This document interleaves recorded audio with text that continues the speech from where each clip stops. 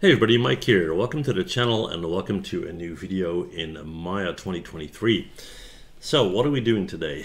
We're looking at referencing.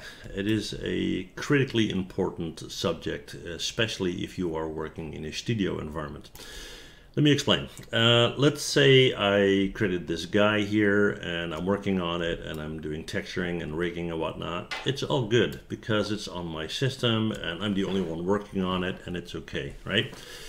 Thing is, though, that in a studio environment, that's not the case because you have a, a, rigging artist working on the, the rig for this character, while at the same time you're working on the texturing and somebody else is doing the grooming, right? How do you get a situation where multiple people can work on the same model at the same time? Well, that's where referencing comes in, right? This model, for example, is on your system. It's on your system and nobody else's, uh, your hard drive, not on a network, nothing like that, right? If you have a reference though, then it will be sitting on a network drive and multiple people will have access to it. Now, once you load in that asset to work on it, you don't load in the actual asset, you load in a reference to that asset, right? Kind of like a, a ghost twin brother or whatever, right? So if you uh, then go in and start working on the textures, once you save out your asset, it will update that model on the network and the textures will be updated as well. And the person doing the rigging will do the same thing. And that will allow you to uh, work at the same time, right? Now, this is not a reference, but how does a reference work? Well, it's easy. Let's uh, go uh, to File and New. Let's get rid of this guy. And we're going to go up here to File and create a reference.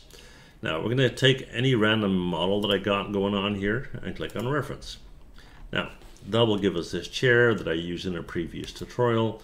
And if you open up the outliner, you will see that every component has a little blue diamond in front of it, telling us that this is a reference, right?